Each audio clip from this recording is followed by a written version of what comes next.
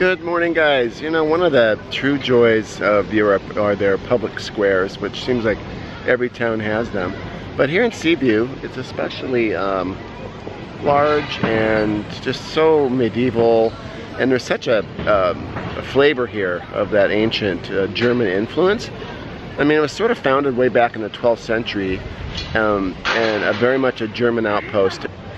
This town was named a European Capital Culture back in 2007, and these are designations by the European Union for um, cities or towns that sort of exemplify what Europe's all about in terms of culture.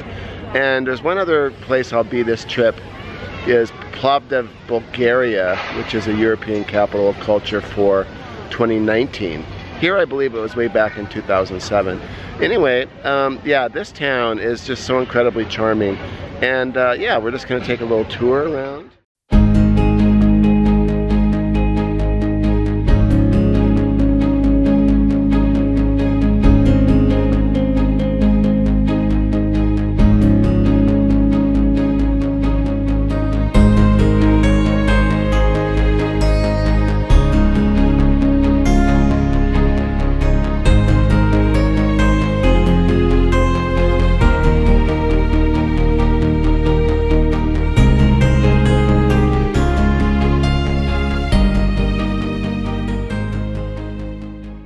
Was researching Romania and Sibiu, one of the things I had read about and I wanted to see here were these bizarre houses with eyes, they're called, and they're all over town. And if you look at them, it's sort of like eyes that are staring down on the town or on you. And actually, they're just attic windows that were shaped that way, but from centuries ago. Um, yeah, but it's just sort of creepy and bizarre, and they're all over town. It's kind of weird. Cool. And look, there's a cyclops. Yeah. There are even cyclops here and there, and some of the houses just have um, three eyes. So yeah, pretty interesting. Sibiu, more than many towns, um, is sort of divided into upper and lower town. And upper town is kind of like where we were at the town square and so on. And lower town is much older and just winds around in alleyways. And you can easily get lost back here, and I bet that's one of the most charming things about it.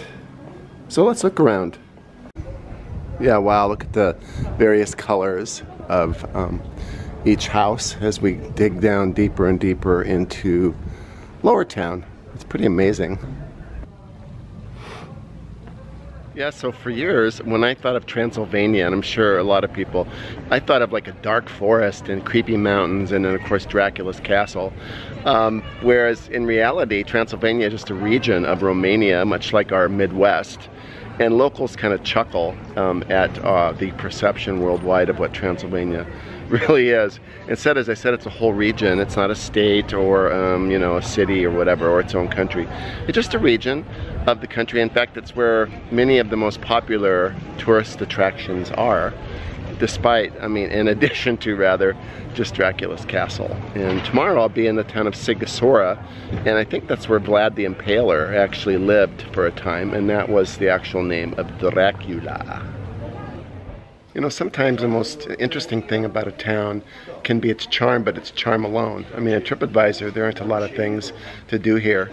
But so really it's more about, for me especially, just chilling out for a couple days after this incredible pace for three weeks and just kind of soaking it all in and sitting at outdoor cafes and so on.